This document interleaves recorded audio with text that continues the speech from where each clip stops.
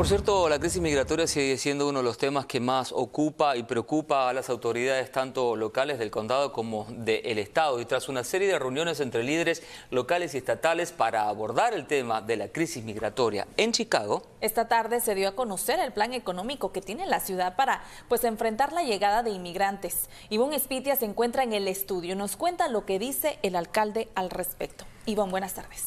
Según el plan, se estima que para cubrir las necesidades que tienen los inmigrantes a su llegada a Chicago se necesitan unos 321 millones de dólares adicionales para hacerle frente, eh, hacerle frente a la crisis migratoria durante este año.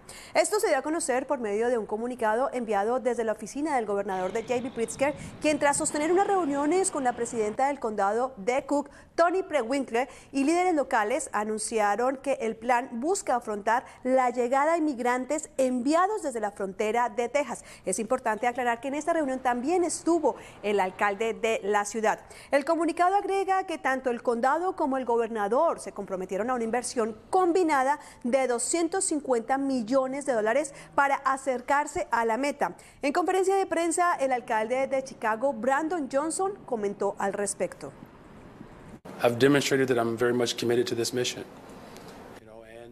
Yo he demostrado que estoy comprometido con esta misión y en toda operación que hay detrás de esto. Y estoy agradecido con el trabajo que ha hecho el Estado y el condado, porque soy el responsable de brindarle un refugio a estas personas. Soy el responsable por educarlas y ustedes saben que desde que yo tomé el cargo he estado trabajando para desocupar las estaciones de policía y los aeropuertos.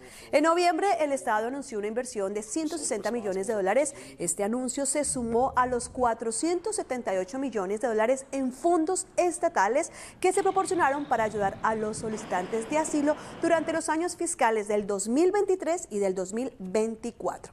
Actualmente Chicago ha recibido a más de 35 mil inmigrantes, de los cuales más de 12 mil se encuentran en alguno de los 27 refugios creados por la ciudad. Compañeros, continúo con ustedes al otro lado del estudio.